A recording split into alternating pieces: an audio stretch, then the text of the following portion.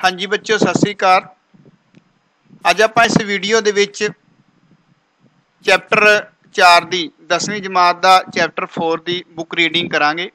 ਜਿਵੇਂ ਆਪਾਂ ਕਲਾਸ ਦੇ ਵਿੱਚ ਚੈਪਟਰ ਪੜ੍ਹਦੇ ਹੁੰਦੇ ਆ ਸੇਮ ਉਸੇ ਤਰ੍ਹਾਂ ਹੀ ਪੜਾਂਗੇ ਸਿਰਫ ਤੁਸੀਂ ਵੀਡੀਓ ਚਲਾ ਕੇ ਆਪਣਾ ਪੂਰਾ ਚੈਪਟਰ ਦਾ ਆਨੰਦ ਲੈ ਸਕਦੇ ਹੋ। ਜਿਵੇਂ ਆਪਾਂ ਕਲਾਸ ਦੇ ਵਿੱਚ ਪੜ੍ਹਦੇ ਆ ਨਾ, ਉਸੇ ਤਰ੍ਹਾਂ ਹੀ, ਸੇਮ ਉਸੇ ਤਰ੍ਹਾਂ ਹੀ ਤੁਹਾਨੂੰ ਉਹੀ ਫੀਲਿੰਗ ਹੋਵੇਗੀ।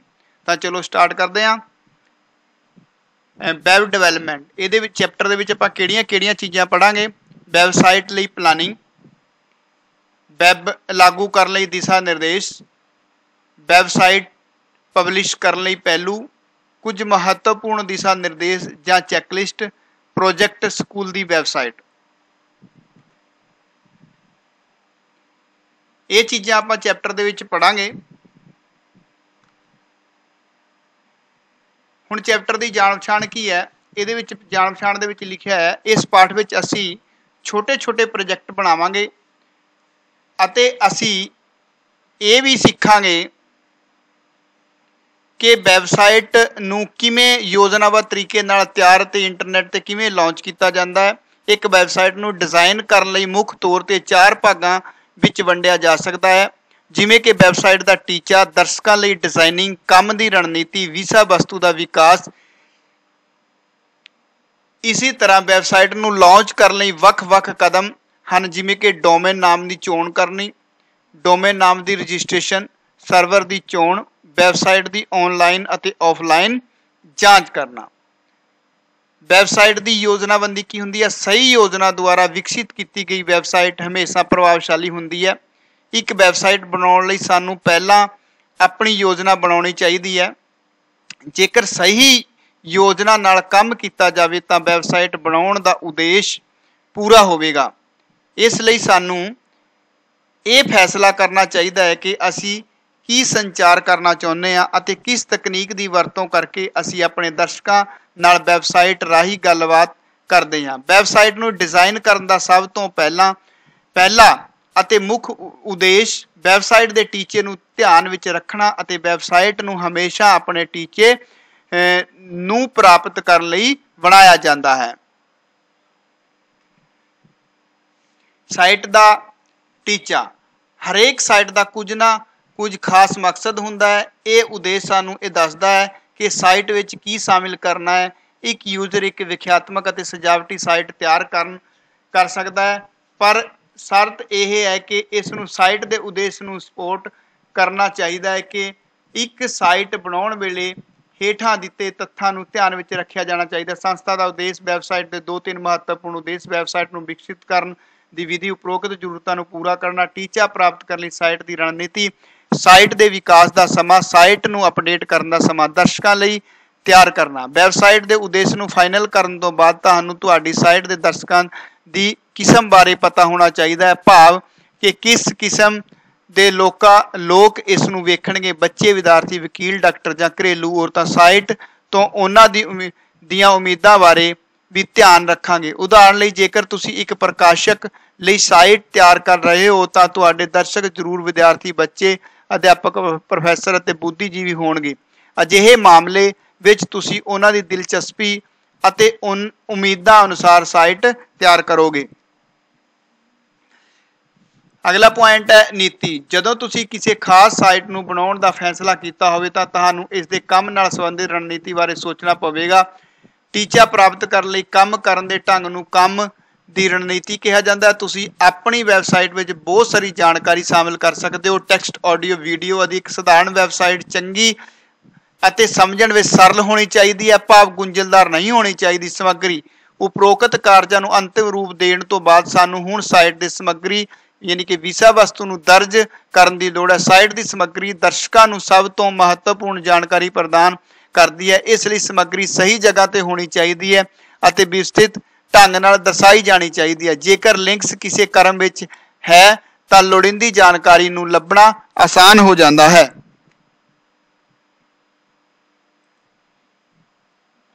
ਵੈਬ ਲਾਗੂ ਕਰਨ ਦੇ ਨਿਰਦੇਸ਼। ਪੂਰੀ ਤਰ੍ਹਾਂ ਸਹੀ ਯੋਜਨਾ ਬਣਾਉਣ ਤੇ ਸੂਚਨਾਵਾਂ ਅਤੇ ਲਿੰਕਾਂ ਬਾਰੇ ਫੈਸਲਾ ਕਰਨ ਤੋਂ ਬਾਅਦ ਅਸੀਂ ਇਸ ਤੇ ਲਾਗੂ ਕਰਨ ਵਾਲੇ ਹਿੱਸੇ ਲਈ ਕੰਮ ਕਰਨਾ ਹੈ। ਅਸੀਂ ਸ਼ਾਇਦ ਜਾਣਦੇ ਹਾਂ ਕਿ ਸਾਡੀ ਵੈਬਸਾਈਟ ਦੀ ਸਮੱਗਰੀ ਇਸ ਦਾ ਸਭ ਤੋਂ ਮਹੱਤਵਪੂਰਨ ਪਹਿਲੂ ਹੈ, ਪਰ ਇਹ ਵੀ ਬਹੁਤ ਮਹੱਤਵਪੂਰਨ ਹੈ ਕਿ ਇਸ ਦਾ ਟੀਚਾ ਪ੍ਰਾਪਤ ਕਰਨ ਵਾਲੇ ਇਸ ਨੂੰ ਲੱਭਣ ਦੇ ਯੋਗ ਹੁੰਦੇ ਹਨ ਅਤੇ ਸਾਡੀ ਸਾਈਟ ਦੇ ਵਰਤਣ ਵਾਲੇ ਤੇਜ਼ੀ ਨਾਲ ਉਹ ਜਾਣਕਾਰੀ ਲੱਭ ਸਕਦੇ ਹਨ ਜੋ ਉਹ ਚਾਹੁੰਦੇ ਹਨ।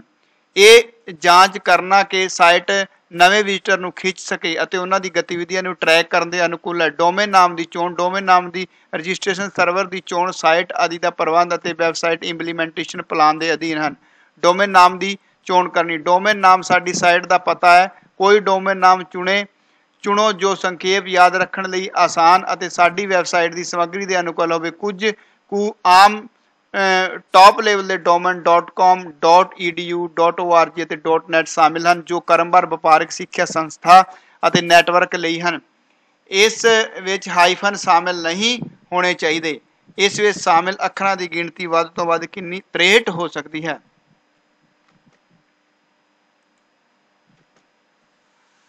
ਡੋਮੇਨ ਨਾਮ ਨੂੰ ਰਜਿਸਟਰ ਕਰਨਾ ਡੋਮੇਨ ਨਾਮ ਬਾਰੇ ਫੈਸਲਾ ਕਰਨ ਤੋਂ ਬਾਅਦ ਅਸੀਂ ਇਸ ਨੂੰ ਰਜਿਸਟਰ ਕਰਵਾਉਣਾ ਹੈ।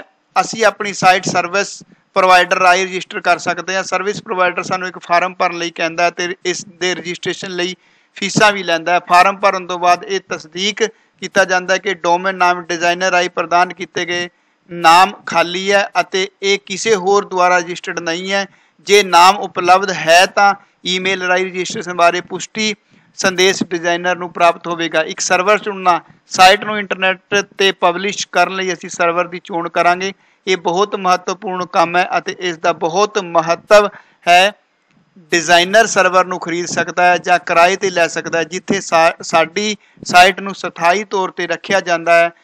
ਵੈਬ ਵਰਡ ਵਿੱਚ ਸਰਵਰ ਦੀ ਭੂਮਿਕਾ ਬਹੁਤ ਮਹੱਤਵਪੂਰਨ ਹੈ। ਅਜਿਹੇ ਇੱਕ ਖਾਸ ਸਰਵਰ ਦਾ ਨਾਮ ਵੈਬ ਸਰਵਰ ਹੈ ਜਦੋਂ ਵੀ ਤੁਸੀਂ ਕਿਸੇ ਵੀ ਸਾਈਟ ਨੂੰ ਆਪਣੇ ਬ੍ਰਾਊਜ਼ਰ ਤੇ ਖੋਲਦੇ ਹੋ ਤਾਂ ਸੰਬੰਧਿਤ ਸਰਵਰ ਨਾਲ ਜੁੜਦਾ ਤੁਹਾਡੀ ਵੈਬਸਾਈਟ ਨੂੰ ਸੁਚਾਰੂ ਢੰਗ ਨਾਲ ਚਲਾਉਣ ਲਈ ਜ਼ਰੂਰੀ ਬੈਂਡਵਿਡਥ ਦੀ ਜ਼ਰੂਰਤ ਹੁੰਦੀ ਹੈ। ਬੈਂਡਵਿਡਥ ਉਹ ਡਾਟਾ ਟਰਾਂਸਫਰ ਦਾ ਰੇਟ ਹੈ, ਜੋ ਕਿਸੇ ਨਿਸ਼ਚਿਤ ਸਮੇਂ ਵਿੱਚ ਕੀਤਾ ਜਾਂਦਾ ਹੈ। ਤੁਹਾਨੂੰ ਹੋਰ ਬੈਂਡਵਿਡਥ ਖਰੀਦਣ ਦੀ ਜ਼ਰੂਰਤ ਹੋ ਸਕਦੀ ਹੈ, ਕਿਉਂਕਿ ਜੇਕਰ ਤੁਹਾਡੀ ਵੈਬਸਾਈਟ ਦੀ ਵਰਤੋਂ ਵੱਧਦੀ ਹੈ, ਤੁਹਾਡੇ ਵਿਜ਼ਿਟਰ ਲੈਗ ਦਾ ਅਨੁਭਵ ਹੋ ਸਕਦਾ ਹੈ, ਜੋ ਉਹਨਾਂ ਨੂੰ ਤੁਹਾਡੀ ਵੈਬਸਾਈਟ ਤੋਂ ਦੂਰ ਕਰ ਸਕਦਾ ਹੈ। ਕਈ ਮੇਜ਼ਬਾਨ ਸਰਵਰ ਤੁਹਾਡੀ ਵੈਬਸਾਈਟ ਨੂੰ ਬਣਾਉਣ ਵਿੱਚ ਤੁਹਾਡੀ ਮਦਦ ਕਰਨ ਵਿੱਚ ਸੌਫਟਵੇਅਰ ਪ੍ਰਦਾਨ ਕਰਦੇ ਹਨ। ਵੈਬ ਪੇਜ ਦਾ ਪ੍ਰਬੰਧ ਕਰਨਾ, ਜੇਕਰ ਕਿਸੇ ਵਿਅਕਤੀ ਨੂੰ ਲੋੜੀਂਦੀ ਜਾਣਕਾਰੀ 30 ਸੈਕਿੰਡ ਦੇ ਅੰਦਰ ਅੰਦਰ ਤੁਹਾਡੀ ਵੈਬਸਾਈਟ ਤੇ ਨਹੀਂ ਲੱਭ ਰਹੀ, ਜੋ ਉਸ ਨੂੰ ਚਾਹੀਦੀ ਹੈ ਤਾਂ ਉਹ ਚਲਾ ਜਾਵੇਗਾ ਤੇ ਵਾਪਸ ਨਹੀਂ ਆਵੇਗਾ। ਆਪਣੀ ਵੈਬਸਾਈਟ ਨੂੰ ਹਿੱਸਿਆਂ ਵਿੱਚ ਵੰਡਣਾ ਤੇ ਉਹਨਾਂ ਨੂੰ ਵਿਵਸਥਿਤ ਕਰਨਾ, ਫਿਰ ਹਰੇਕ ਪੰਨੇ ਦੇ ਸਿਖਰ ਤੇ ਉਹਨਾਂ ਭਾਗਾਂ ਨੂੰ ਲਿੰਕ ਪ੍ਰਦਾਨ ਕਰਨਾ, ਤੁਹਾਡੀ ਵੈਬਸਾਈਟ ਨੂੰ ਨੈਵੀਗੇਟ ਕਰਨ ਲਈ ਸੌਖਾ ਤੇ ਪ੍ਰਭਾਵਸ਼ਾਲੀ ਤਰੀਕਾ ਹੈ। ਵੈਬ ਪੇਜ ਸੁੰਦਰ ਢੰਗ ਨਾਲ ਸੰਗਠਿਤ ਹੋਣਾ ਚਾਹੀਦਾ ਹੈ। ਇਸ ਲਈ ਕਿ ਇਹ ਇੱਕ ਸੰਤੁਸ਼ਟ ਦ੍ਰਿਸ਼ ਪੇਸ਼ ਕਰਦਾ ਹੈ। ਵੈਬ ਪੇਜ ਨੂੰ ਬਣਾਉਣ ਸਮੇਂ ਪੇਜ ਦਾ ਆਕਾਰ ਇੱਕ ਮਹੱਤਵਪੂਰਨ ਨੁਕਤਾ ਹੈ। ਵੈਬ ਪੇਜ ਨੂੰ ਡਿਜ਼ਾਈਨ ਕਰਦੇ ਸਮੇਂ ਹੇਠ ਲਿਖੇ ਪੁਆਇੰਟਾਂ ਨੂੰ ਧਿਆਨ ਵਿੱਚ ਰੱਖਣਾ ਚਾਹੀਦਾ ਹੈ। ਇੱਕ ਵੈਬ ਪੇਜ ਦਾ ਸਾਈਜ਼ ਦੋ ਸਕਰੀਨਾਂ ਤੋਂ ਵੱਧ ਨਹੀਂ ਹੋਣਾ ਚਾਹੀਦਾ। ਜੇ ਸਾਨੂੰ ਲੰਬੇ ਸਫੇ ਦਾ ਉਪਯੋਗ ਕਰਨਾ ਹੋਵੇ ਤਾਂ ਬੁੱਕ ਮਾਰਕ ਰਾਈ ਇੰਟਰਨੈਟ ਲਿੰਕ ਸਥਾਪਿਤ ਕਰੋ।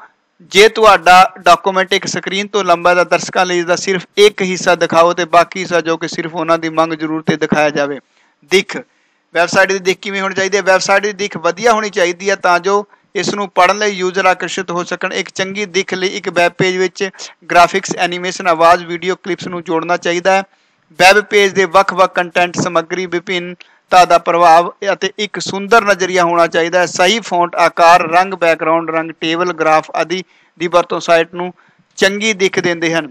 ਆਪਣਾ ਕੋਡ ਵੈਲੀਡੇਟ ਕਰਨਾ, ਤੁਹਾਡੀ HTML, CSS, XHTML, JavaScript ਅਤੇ XML ਕੋਡਾਂ ਨੂੰ ਪ੍ਰੀਖਿਆ, ਪਰਖਿਆ ਜਾਵੇ ਕਿ ਤੁਹਾਡੀ ਵੈਬਸਾਈਟ ਦਾ ਕੋਡ ਸਹੀ ਹੈ ਤੇ ਉਸ ਦਾ ਕੰਮ ਕਰ ਰਹੇ ਹਨ।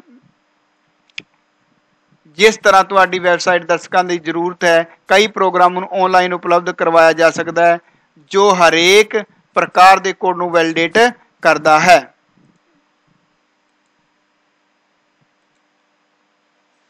ਅੱਗੇ ਆਫਲਾਈਨ ਟੈਸਟਿੰਗ ਸਾਰੇ ਵੈਬ ਪੇਜਾਂ ਨੂੰ ਡਿਜ਼ਾਈਨ ਕਰਨ ਤੋਂ ਬਾਅਦ ਇਸ ਦੀ ਵੱਖ-ਵੱਖ ਬਰਾਊਜ਼ਰਾਂ ਤੇ ਜਾਂਚ ਕੀਤੀ ਜਾਂਦੀ ਹੈ। ਇਸ ਦੀ ਟੈਸਟਿੰਗ ਲਈ ਕੋਈ ਇੰਟਰਨੈਟ ਕਨੈਕਸ਼ਨ ਦੀ ਜ਼ਰੂਰਤ ਨਹੀਂ ਹੁੰਦੀ। ਇਸ ਲਈ ਸਾਨੂੰ ਆਫਲਾਈਨ ਟੈਸਟ ਇਸ ਲਈ ਇਸ ਨੂੰ ਆਫਲਾਈਨ ਟੈਸਟ ਕਿਹਾ ਜਾਂਦਾ। ਆਫਲਾਈਨ ਟੈਸਟ ਵਿੱਚ ਸਭ ਤੋਂ ਪਹਿਲਾਂ ਹੋਮ ਪੇਜ ਬਰਾਊਜ਼ਰ ਵਿੱਚ ਖੋਲਿਆ ਜਾਂਦਾ ਤੇ ਫਿਰ ਇਸ ਦੇ ਸਾਰੇ ਲਿੰਕ ਪੇਜ ਇੱਕ ਇੱਕ ਕਰਕੇ ਵੇਖਦੇ ਆ ਤਾਂ ਡਿਜ਼ਾਈਨਰ ਨੂੰ ਇੱਥੇ ਇਹ ਯਕੀਨੀ ਬਣਾਉਣਾ ਚਾਹੀਦਾ ਹੈ ਕਿ ਸਾਰੇ ਪੰਨਿਆਂ ਦਾ ਚੰਗੀ ਤਰ੍ਹਾਂ ਦਿੱਖ ਹੈ। ਤੁਹਾਨੂੰ ਆਪਣੀ ਵੈਬਸਾਈਟ ਦੀ ਪੂਰੀ ਤਰ੍ਹਾਂ ਜਾਂਚ ਕਰਨ ਦੀ ਜ਼ਰੂਰਤ ਹੈ। ਤੁਹਾਡੇ ਡਿਜ਼ਾਈਨ ਅਤੇ ਪੇਜ ਦਾ ਢਾਂਚਾ ਵਿਉਂਤ ਮੁਤਾਬਿਕ ਪ੍ਰਦਰਸ਼ਿਤ ਹੈ। ਖਾਸ ਤੌਰ ਤੇ ਆਪਣੀ ਵੈਬਸਾਈਟ ਨੂੰ Chrome Firefox Internet Explorer Opera ਅਤੇ ਸਫਾਰੀ ਸਮੇਤ ਸਭ ਤੋਂ ਵੱਧ ਪ੍ਰਸਿੱਧ ਬ੍ਰਾਊਜ਼ਰਾਂ ਨਾਲ ਵੇਖੋ, ਕਿਉਂਕਿ ਉਹ ਬ੍ਰਾਊਜ਼ਰ ਬਹੁਤ ਸਾਰੇ ਲੋਕਾਂ ਦੁਆਰਾ ਵਰਤੇ ਜਾਂਦੇ ਨੇ ਜੋ ਕਿ ਇੰਟਰਨੈਟ ਵੇਖ ਰਹੇ ਹਨ। ਤੁਹਾਨੂੰ ਆਪਣੀ ਸਾਈਟ ਨੂੰ ਵੱਖ ਬ੍ਰਾਊਜ਼ਰ ਵੱਖ-ਵੱਖ ਬ੍ਰਾਊਜ਼ਰਾਂ ਤੇ ਪਰਖਣਾ ਚਾਹੀਦਾ ਹੈ। ਸਾਈਟ ਨੂੰ ਅਪਲੋਡ ਕਰਨਾ ਸਾਈਟ ਸਾਰੇ ਦਰਸ਼ਕਾਂ ਲਈ ਸਾਈਟ ਨੂੰ ਉਪਲਬਧ ਕਰਾਉਣ ਦੀ ਕਿਰਿਆ ਨੂੰ ਅਪਲੋਡ ਕਿਹਾ ਜਾਂਦਾ ਹੈ। ਵੈਬ ਪੇਜਾਂ ਨੂੰ ਹੋਸਟ ਤੇ ਟ੍ਰਾਂਸਫਰ ਕਰਨ ਲਈ ਸਾਨੂੰ ਫਾਈਲ ਟ੍ਰਾਂਸਫਰ ਪ੍ਰੋਟੋਕਾਲ ਕਲਾਇੰਟ ਦੀ ਜ਼ਰੂਰਤ ਹੈ। ਇਸ ਉਦੇਸ਼ ਲਈ ਪਹਿਲਾਂ ਅਸੀਂ file transfer protocol program Cute FTP ਨੂੰ ਸੈੱਟ ਕਰਦੇ ਹਾਂ। ਫਿਰ ਆਨਲਾਈਨ ਆਉਣ ਤੋਂ ਬਾਅਦ ਆਪਣੀ ਫਾਈਲ ਅਪਲੋਡ ਕਰੋ। ਤੁਹਾਡੇ ਕੰਪਿਊਟਰ ਤੇ ਤੁਹਾਡੀ ਵੈਬਸਾਈਟ ਦੀ ਕਾਪੀ ਨੂੰ ਲੋਕਲ ਵਰਜ਼ਨ ਕਿਹਾ ਜਾਂਦਾ ਹੈ ਅਤੇ ਵੈਬ ਹੋਸਟ ਉਤੇ ਕਾਪੀ ਨੂੰ ਪ੍ਰੋਡਕਸ਼ਨ ਵਰਜ਼ਨ ਕਿਹਾ ਜਾਂਦਾ ਹੈ। ਆਨਲਾਈਨ ਟੈਸਟਿੰਗ ਕੀ ਹੁੰਦੀ ਹੈ? ਜਦੋਂ ਤੁਹਾਡੀ ਸਾਈਟ ਆਨਲਾਈਨ ਅਪਲੋਡ ਕੀਤੀ ਜਾਂਦੀ ਹੈ ਤਾਂ ਅਗਲਾ ਕਦਮ ਇਸ ਦੀ ਆਨਲਾਈਨ ਟੈਸਟਿੰਗ ਹੁੰਦੀ ਹੈ। ਇੰਟਰਨੈਟ ਕਨੈਕਸ਼ਨ ਬਣਾਉਣ ਬਣਾਓ ਬ੍ਰਾਊਜ਼ਰ ਨੂੰ ਖੋਲੋ ਅਤੇ ਆਪਣੀ ਸਾਈਟ ਦਾ URL ਟਾਈਪ ਕਰ ਦਿਓ। ਜਾਂਚ ਕਰੋ, ਤੁਹਾਡੀ ਸਾਈਟ ਦੇ ਸਾਰੇ ਲਿੰਕ ਸਹੀ ਕੰਮ ਕਰ ਰਹੇ ਨੇ। IOSC search engine optimization meta ਤੇ ਆਲਟ ਟੈਗਸ ਦੀ ਵਰਤੋਂ ਇਸ ਇਹ ਯਕੀਨੀ ਬਣਾਉਣ ਲਈ ਕੀਤੀ ਜਾਂਦੀ ਹੈ ਕਿ ਵੈਬਸਾਈਟ ਯੂਜ਼ਰ ਵੱਲੋਂ ਸਰਚ ਕੀਤੇ ਜਾਣ ਕਿ ਕੀਵਰਡ ਨੂੰ ਸਹੀ ਦਰਸਾਉਂਦੀ ਹੈ ਤੇ ਸਗੋਂ ਵੈਬਸਾਈਟ ਦੇ ਸਰਚ ਨਾਲ, ਕਰਨ ਨਾਲ ਸੰਬੰਧਿਤ ਕੰਟੈਂਟ ਨੂੰ ਵੀ ਵਿਖਾਉਂਦੀ ਹੈ। ਇਸ ਤਰ੍ਹਾਂ ਕਰਨ ਨਾਲ ਯੂਜ਼ਰ ਦੀ ਦਿਲਚਸਪੀ ਵਧੇਗੀ। ਤੁਹਾਡੀ ਵੈਬਸਾਈਟ ਤੇ ਹੋਰ ਵਿਜ਼ਿਟ ਵਿਜ਼ਿਟਰਸ ਹੋਣ ਵਿਜ਼ਿਟਸ ਹੋਣਗੀਆਂ। ਆਲਟ ਟੈਗਸ ਕੇਵਲ ਤੁਹਾਡੀ ਵੈਬਸਾਈਟ ਦੇ ਤਸਵੀਰਾਂ ਦੇ ਨਾਲ ਜਾਣ ਲਈ ਇੱਕ ਲਿਖਤ ਵੇਰਵਾ ਹੈ ਅਤੇ ਇਹ, ਇਸ ਲਈ ਉਹਨਾਂ ਨੂੰ ਸਰਚ ਇੰਜਣ ਤੇ ਯੂਜ਼ਰ ਨੂੰ ਦੱਸਣਾ ਜ਼ਰੂਰੀ ਹੈ। ਤੁਹਾਡੀ ਵੈਬਸਾਈਟ ਤੇ ਕਿਹੋ ਜਿਹੀਆਂ ਤਸਵੀਰਾਂ ਹਨ? Installing website analytics website online analytics install ਕਰਨਾ, ਆਪਣੀ ਵੈਬਸਾਈਟ ਦਾ ਸਫਲਤਾ ਤੇ ਮੌਜੂਦਾ ਸਥਿਤੀ ਦਾ ਪਤਾ ਲਗਾਉਣ ਲਈ ਵੈਬਸਾਈਟ ਵਿਸ਼ਲੇਸ਼ਣ ਸਥਾਪਿਤ ਕਰੋ। ਇਸ ਲਈ ਤੁਸੀਂ ਨਿਰੀਖਣ ਕਰਨ ਦੇ ਯੋਗ ਹੋਵੋਗੇ। ਤੁਹਾਡੀ ਵੈਬਸਾਈਟ ਦੇ ਮਿਲਣ ਵਾਲੇ ਮੁਲਾਕਾਤ ਦੀ ਗਿਣਤੀ ਮੁਲਾਕਾਤਾਂ ਦੀ ਗਿਣਤੀ ਵਿਜ਼ਟਰਾਂ ਦੇ ਰਹਿਣ ਵਾਲੇ ਸਮੇਂ ਦੀ ਗਿਣਤੀ, ਹਰ ਇੱਕ ਵਿਜ਼ਟਰ ਲਈ ਪੇਜ ਦੇਖਣ ਦੀ ਔਸਤ ਗਿਣਤੀ ਅਤੇ ਕਈ ਹੋਰ ਉਪਯੋਗੀ ਆંકੜੇ ਸ਼ਾਮਲ ਹਨ। ਅਜਿਹੇ ਸੌਫਟਵੇਅਰ ਦੀ ਵਰਤੋਂ ਕਰਨ ਲਈ, ਕਰਨ ਨਾਲ ਤੁਸੀਂ ਆਪਣੀ ਵੈਬਸਾਈਟ ਨੂੰ ਪ੍ਰਭਾਵਸ਼ਾਲੀ ਤੇ ਵਿਸਤ੍ਰਿਤ ਕਰਨ ਦੇ ਯੋਗ ਹੋਵੋਗੇ।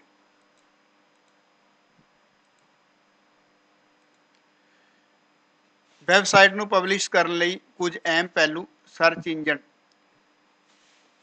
optimization search engine optimization ਇੱਕ ਸਰਚ ਇੰਜਨ ਦੇ ਖੋਜ ਨਤੀਜਿਆਂ ਦੇ ਵੈਬ ਪੇਜ ਵਿੱਚ ਉੱਚ ਦਰਜਾਬੰਦੀ, ਪਲੇਸਮੈਂਟ ਪ੍ਰਾਪਤ ਕਰਕੇ ਵੈਬਸਾਈਟ ਨੂੰ ਆਉਣ ਵਾਲੇ ਲੋਕਾਂ ਦੀ ਗਿਣਤੀ ਵਧਾਉਣ ਲਈ ਵਰਤਿਆ ਜਾਣ ਵਾਲੀਆਂ ਰਣਨੀਤੀਆਂ ਤਕਨੀਕਾਂ ਆਦਿ ਦੀ ਇੱਕ ਕਾਰਜ ਪ੍ਰਣਾਲੀ ਹੈ, ਜਿਸ ਵਿੱਚ ਸ਼ਾਮਲ ਸਰਚ ਇੰਜਨ ਹਨ ਗੂਗਲ ਬਿੰਗ ਯਾਹੂ ਅਤੇ ਹੋਰ ਸਰਚ ਇੰਜਨ SEO ਇਹ ਯਕੀਨੀ ਬਣਾਉਣ ਵਿੱਚ ਸਹਾਇਤਾ ਕਰਦਾ ਹੈ ਕਿ ਕਿਸੇ ਸਾਈਟ ਨੂੰ ਕਿਸੇ ਖੋਜ ਇੰਜਣ ਲਈ ਪਹੁੰਚਣ ਯੋਗ ਬਣਾਇਆ ਜਾਵੇ ਅਤੇ ਸੰਭਾਵਨਾ ਨੂੰ ਸੁਧਾਰਿਆ ਜਾਵੇ ਕਿ ਸਾਈਟ ਸਰਚ ਇੰਜਣ ਦੁਆਰਾ ਲੱਭ ਲਈ ਜਾਵੇਗੀ। SEO ਅਜਿਹੀਆਂ ਪ੍ਰੈਕਟਿਸਾਂ ਦਾ ਸਮੂਹ ਹੈ ਜੋ ਵੈਬ ਮਾਸਟਰਸ ਅਤੇ ਵੈਬ ਕੰਟੈਂਟ ਉਤਪਾਦਕ ਖੋਜ ਇੰਜਣ ਨਤੀਜਿਆਂ 'ਚ ਬਿਹਤਰ ਰੈਂਕ ਪ੍ਰਾਪਤ ਕਰਨ ਵਿੱਚ ਉਹਨਾਂ ਦੀ ਮਦਦ ਕਰਨ ਲਈ ਵਰਤੇ ਜਾਂਦੇ ਹਨ। Social media marketing internet marketing ਦਾ ਇੱਕ ਰੂਪ ਹੈ ਜੋ ਸੋਸ਼ਲ ਨੈਟਵਰਕਿੰਗ ਵੈਬਸਾਈਟ ਨੂੰ ਇੱਕ ਮਾਰਕੀਟਿੰਗ ਟੂਲ ਦੇ ਰੂਪ ਵਿੱਚ ਉਪਯੋਗ ਕਰਦੀ ਹੈ।